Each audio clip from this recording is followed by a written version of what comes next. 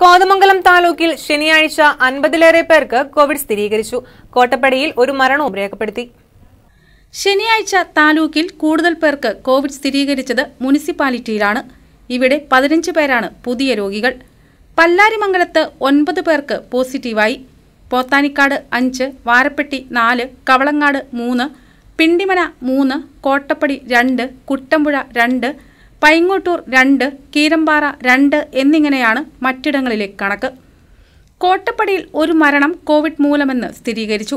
ഇതോടെ താലൂക്കിലെ ആകെ മരണസംഖ്യ മുന്നൂറ്റി നാൽപ്പത്തി ഉയർന്നു.